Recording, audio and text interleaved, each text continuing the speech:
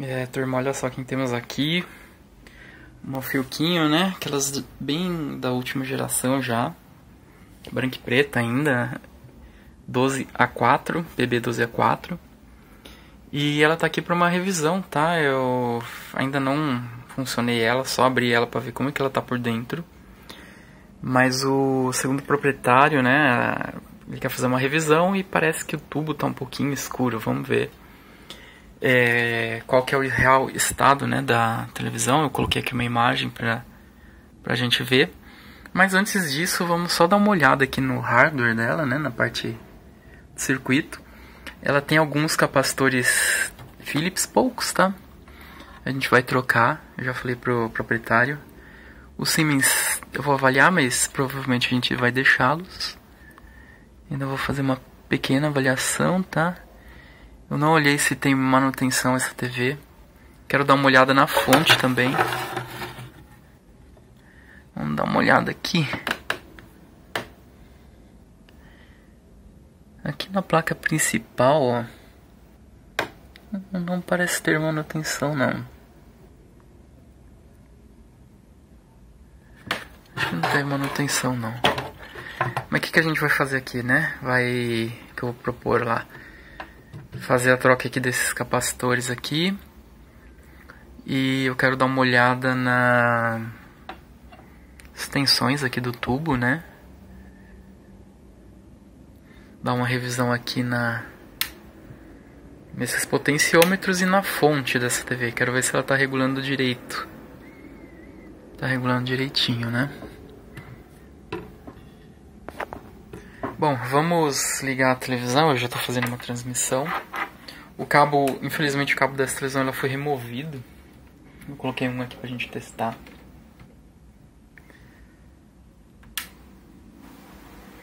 Ela tá sem o... Sem alto-falante. Vamos tirar um pouco a luz aqui. Aqui eu acho que nem ligou, hein. Essa aqui é uma avaliação, tá? Inicial. Acontece que ela nem ligou.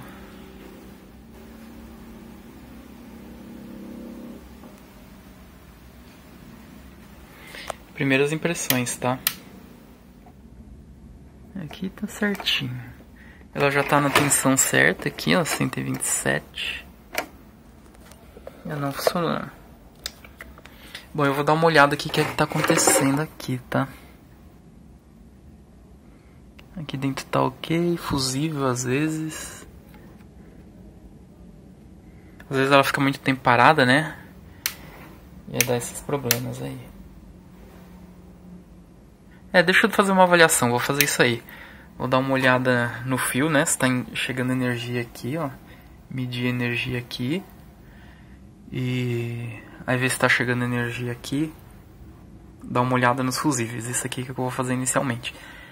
Se tiver chegando energia, a gente continua, né, analisando a fonte. Se não tiver energia, a gente tem que procurar o que é que está acontecendo. Se é diodo aberto, se é algum trafo aí.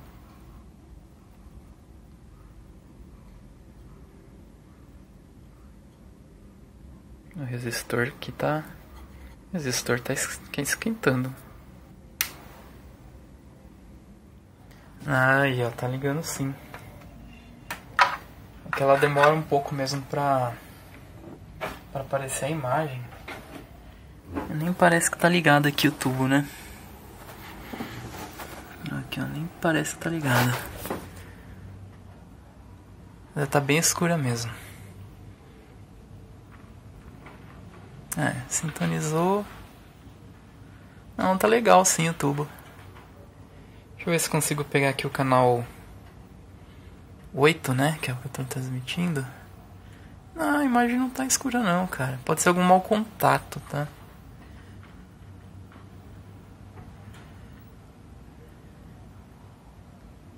Acho que tá com horizontal. A horizontal dela tá fora, né?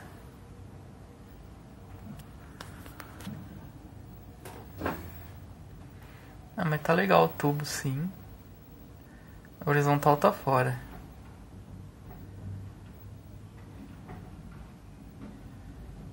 Mas tá funcionando sim.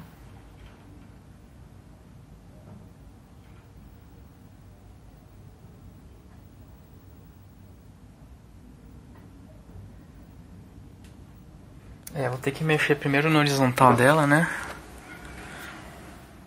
Pra gente ter uma noção de como tá a imagem. A horizontal deve ser ali, ó.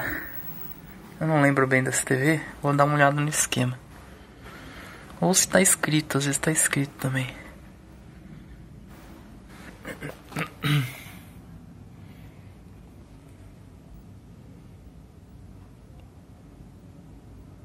Tá meio ruim aqui, ó. Tá meio sujo também o potenciômetrozinho. E aí fica difícil de sintonizar também. Deixa eu sintonizar direitinho, mas a gente já viu que a TV ela não pega sincronismo. Tá vendo que ela tá saindo? Nem vertical, nem nem horizontal, tá?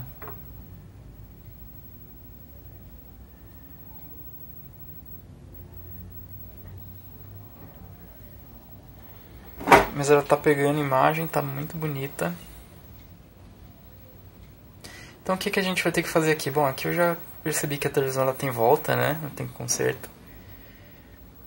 E é o que eu falei, a gente talvez tenha que trocar aqui os, é, os trimpotes, né? Vou fazer uma avaliação, mas de repente já seria até interessante trocar pelo menos esse do, do horizontal, né? Que é bem crítico trocar esses capacitorzinhos aqui, né? Pra gente continuar, antes da gente continuar. E fazer uma revisão geral, né? Soldas, limpeza. E... Mas essa TV aí vai dar bom sim. Fazer um, uma limpeza nesses controles. Esse aqui tá mole, ó. Esse aqui ele já tá bem mais... Mais durinho, né? Mais agarrado, que o pessoal fala. E esse aqui também. Vou dar uma olhada se vai precisar desmontar ele, né? Ou não. Esses aqui são bem, bem complicados. Mas é isso aí, a TV tá... Vou ver com o proprietário, né? O que, que ele acha aí. Tem alguma revisãozinha para fazer. Turma, aqui eu fiz então a revisão na fonte. Eu troquei aqui os transistores, tá? É, troquei esse outro também, só pra testar. Esses dois aqui eu ainda vou deixar esses aí mesmo. Mas eu tro... ah, eu troquei também esse capacitorzinho, né? Mas a, que... a grande questão é a seguinte, o problema, eu acho, o problema aqui não é na, na TV, é na é no esquema, assim. Aquele esquema lá, eu acredito que seja alguma TV de 17, alguma coisa assim, porque essas TVs da Philips são todas muito parecidas, né? Essas branca e pretas aqui. E dessa época aí dos anos 80, tudo, tudo mesma coisa. E eu tava é, fazendo uma análise aqui da TV. E assim, a TV não tem problema, tá? Ela não apresenta nenhum problema. Ela tá um pouquinho instável. A gente precisa ainda fazer uma revisão aqui dos capacitores. Mas a.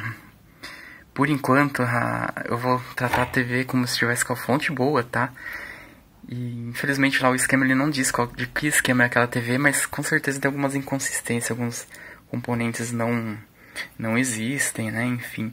Pode ser alguma adaptação aí para uma outra uma, uma, televisão maior, por exemplo. E por que, que eu acho que essa TV aqui também não tem problema aí na fonte, né? Pelo seguinte, ó, a gente consegue, ó, vou tirar um pouquinho a luz aqui, mostrar a tela. Alguns sinais, assim, é, é aquela coisa, né? A TV funcionando, peraí que... A TV funcionando, né? Ai, deixa eu ligar. Ah, tá desligada a tomada. Não vai funcionar mesmo, né? Peraí. Pronto, TV ligada na tomada. Aí, ó. A primeira coisa que a gente pode ver é a luminosidade da TV. A TV tá com ótima luminosidade, tá? Botãozinho de contraste funcionando certinho. Eu já fiz uma limpeza neles.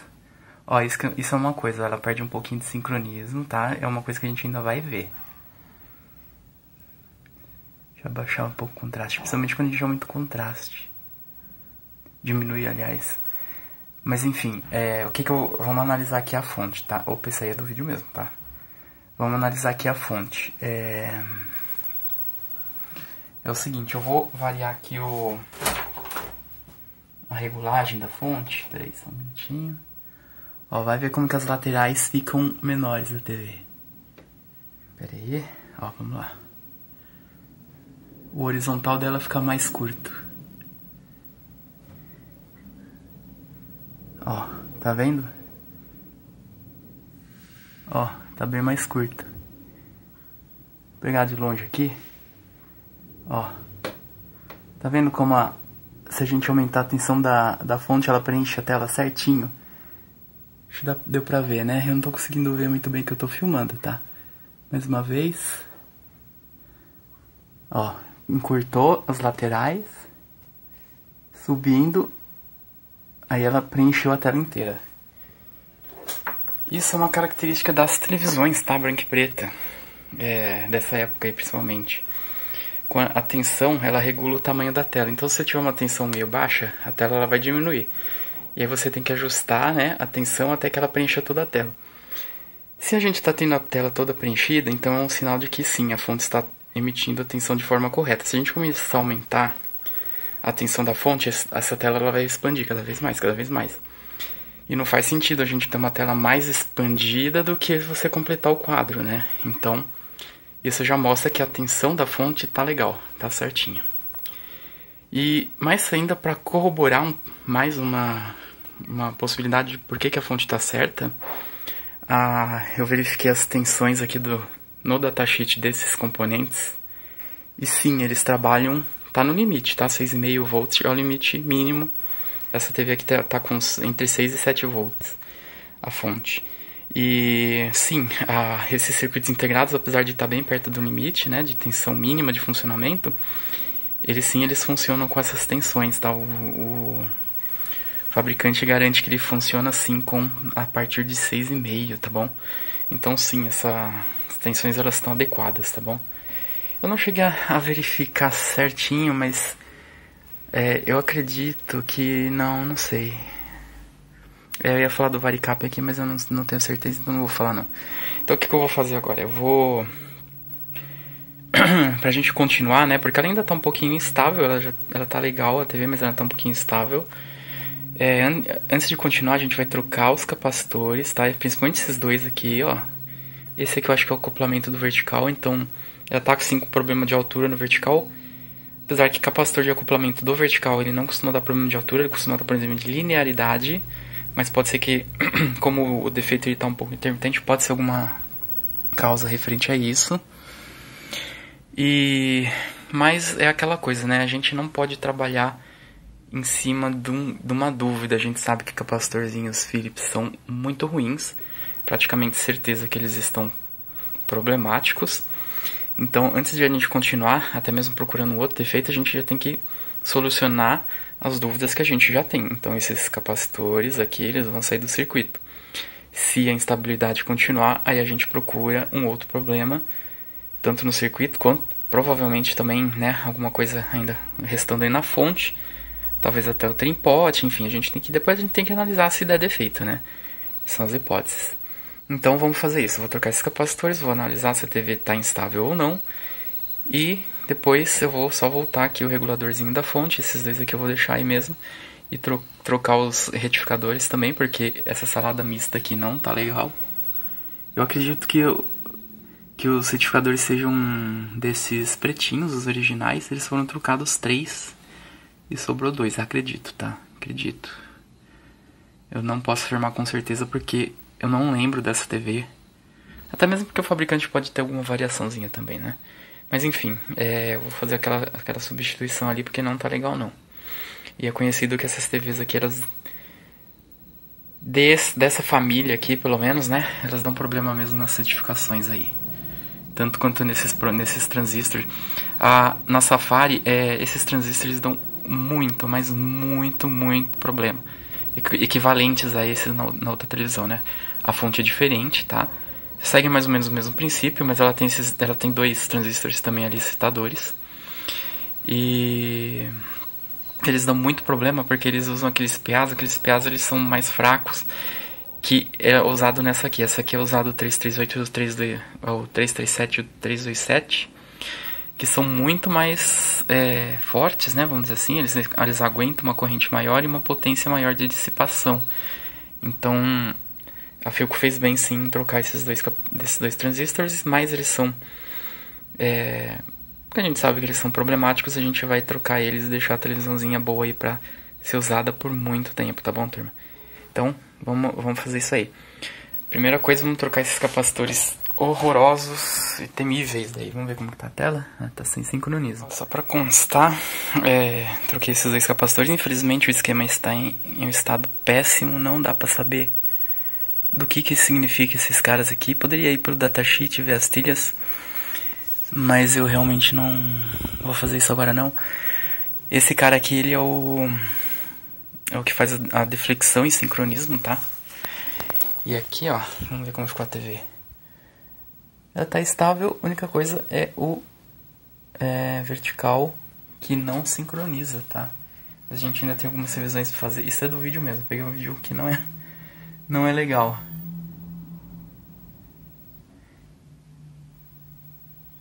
A princípio é, tá estabilizado o horizontal, o vertical que tá ruim ainda, né? Vamos fazer uma análise, como falei, infelizmente o esquema tá numa qualidade muito ruim. E essa área aqui a gente não consegue ter muita certeza das coisas. Então vamos continuar, né? É, vamos trocar esse 615. Que eu acredito ser o acoplamento, tá? Do vertical. Conforme eu já falei. Vamos trocar esse cara também. É o 608. O 600 tá me parecendo ser coisa do vertical. Mas não tenho certeza, tem que dar uma olhada lá. E aquele cara lá também, né? Vamos trocar ele, vamos fazer isso agora. Já vou trocar os três juntos, tá? Sem lamúrias. E vamos ver como, for, como que a televisão se comporta. E de repente fazer até um pouco. dar uma olhada nas soldas frias. Que quando eu tava mexendo nesse capacitor, me deu a impressão que tinha uma solda fria. Mas vamos lá, tá? Vamos passo a passo. Sem ser afoito, sem querer trocar uma peça e consertar a TV. Vamos indo aos poucos, tá bom? Aos poucos, analisando a reação e a evolução da televisão. Vamos trocar esses três aqui. Um detalhe, os capacitores azuis, eles não são Philips, esses aqui não, não são Philips, eles são Lorenzetti. Esse aqui, pra dizer a verdade, eu não confirmei, mas acho que também é. E a data dele ali, ó, 3 de 90. Mas eu acho que é Lorenzetti também. E É aquela coisa, né? O cara já vai um capacitor azul, a mão treme. A mão treme já pra trocá-la. Lorenzetti. Eu nem sabia que o Lorenzetti fazia capacitor ainda nessa época aqui, cara. Surpreendi, viu? Esses outros dois sim são Philips, tá? Esses aqui não nos enganou mesmo. A questão é também que eu fiz uma limpeza no potenciômetro de vertical dessa TV. Porque uma coisa que pode dar instabilidade no vertical é o potenciômetro, ainda mais esses potenciômetros abertos. Eu fiz uma limpeza boa nele ali, mas não resolveu não, tá? Ela parece que tá boa aí, mas ela tá, tá bem estável, tá? O vertical tá bem estável. E aqui eu coloquei também só pra, né, pessoal aí mais atento. Coloquei um de 2,200, é, porque eu não tenho de 1000. Aqui não tem problema por capacitância a mais. Tem problema de por capacitância a menos, mas a mais aqui não tem problema. Os capacitores de 1000 que eu tenho a de tensão muito elevada, de 63 volts para cima, eles são muito caros e um de 2,200 aqui não vai fazer problema nenhum, tá? Nenhum. Então, eu quero dar uma olhada também no datasheet do componente porque eu quero ver os capacitores aqui do vertical, da área do vertical, como que ele faz o sincronismo, né? Como que faz, se ele faz, se ele tem algum feedback, alguma coisa, para eu fazer uma revisão na etapa do vertical. Esse vertical tá instável. Acho que dá até pra perceber que tá dando umas balançadas, né? Olha lá, bem sutilzinha, mas tá, a gente tem que resolver isso aí.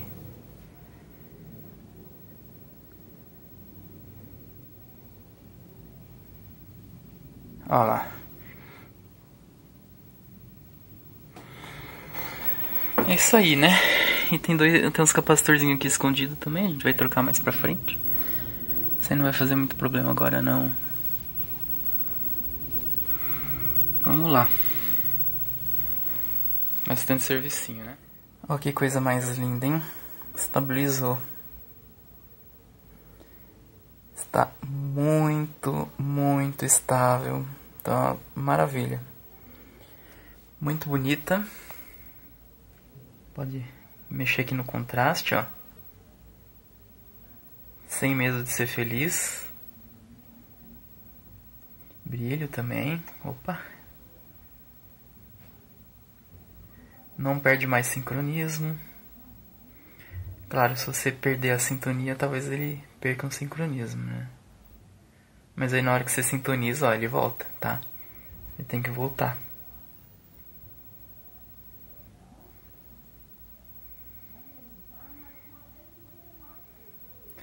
Muito bom, ficou muito legal.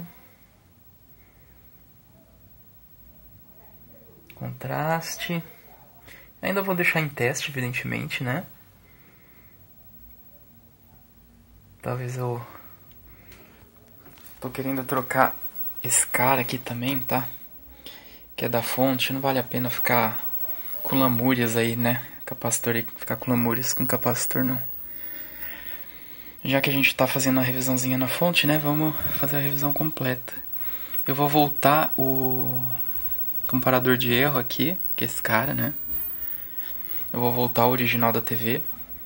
Esses dois pequenininhos vão ficar aí. Eu vou trocar aquele Lorenzetti, eu acredito que seja do vídeo. E para vocês verem como que, ó, o que resolveu foi esse troca desse capacitor. Para vocês verem como que os esquemas não batem, é, a tensão de alimentação da etapa aqui, pelo menos da etapa de vertical que eu verifiquei, ela vem do fly. E lá no esquema ela vem da fonte. Então, para você ver como os esquemas eles não estão batendo, tá? Então, às vezes a gente pega um esquema aí na internet, mas ele é mais para se basear, tá? Às vezes é outro TVs parecidas, tal, para você se basear, né? Pra você ter uma ideia do que está acontecendo. Mas é, você tem sempre que tomar cuidado que às vezes o esquema não é fiel. Às vezes você acha esquema da TV de 20 e você está mexendo numa TV de 14 e eles não são idênticos, tá? Eles mudam, às vezes, às vezes os de 20 em duas placas, de 14 em uma placa só. Tem vários detalhezinhos, mas que não é crítico, tá? É sempre informação, é sempre sempre útil, tá? Também vou trocar esses dois carinhas aqui. Três, na verdade, né? Que são Philips. E é isso aí, né? O resto aí pode ficar uns semenzinhos, não tem problema não. Até mesmo porque ele, essa TV, é que nem eu falo, gente, TV, essa TV não é tão antiga, é da década de...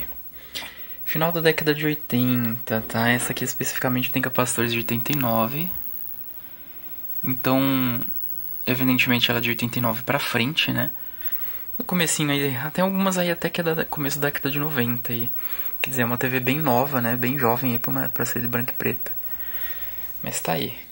Uma TVzinha voltando aí à vida, tá? Vai ficar em. Vou fazer a troca, a substituição desses caras. Desse aqui também, já vou trocar ele. E ficar em observação aí a TV, mas eu acho que é isso aí, tá? aí começar a limpeza aí e fechar a TV. Mas a TV ficou muito legal, cara. Muito bonita demais. Bonita demais.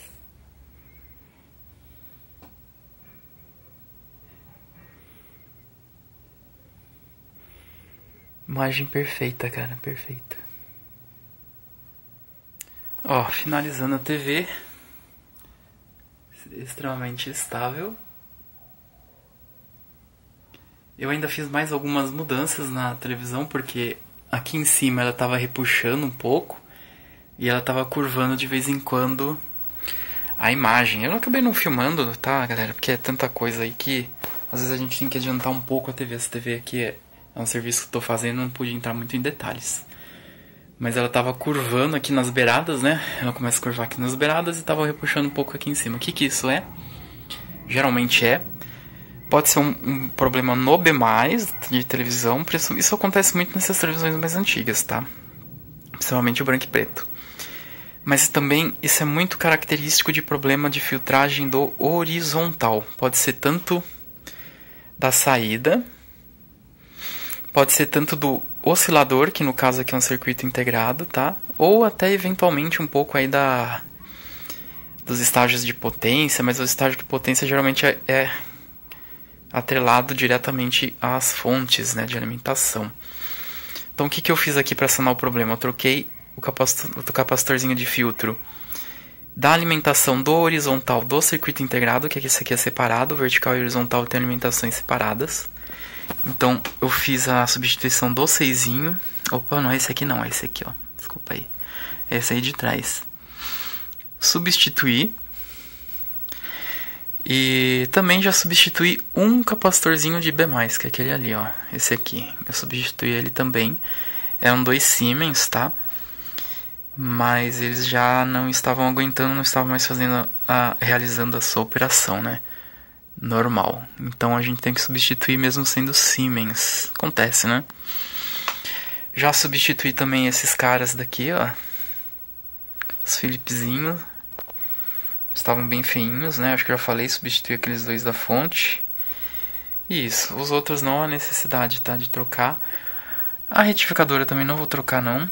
Porque, ah, mesmo que tenha sido trocado, eu, eu não tenho certeza. Não consegui descobrir se esses foram trocados. É estranho porque tem um diferentão ali, o pretão, né? Então eu fiquei meio assim, mas a questão é que a Philips também já usava esses diodinhos aí pequenininho aí, que parece uma gota, né? Nessa época, então... E como eles são melhores, né, que o 4007, que eu ia colocar no lugar, eu vou mantê-los, tá? Não tem problema nenhum em manter. Se, for, se fosse aqueles do é, 4004 ou mesmo 4007, eu trocaria assim, tá? Mas como é desses daí, eu vou deixar eles aí no circuito. E, e é isso aí, né? Ainda vou voltar aí o transistorzinho. Vou deixar a TV mais em teste, vou fazer ele agora começar a limpeza, vou deixá-la mais em testes em algum tempo. Mas a questão é que ela já tá bem interessante. Eu vou colocar, vou testar o áudio dessa TV, espero que ele esteja esteja operando normalmente, mas aí, ó. Muito estável.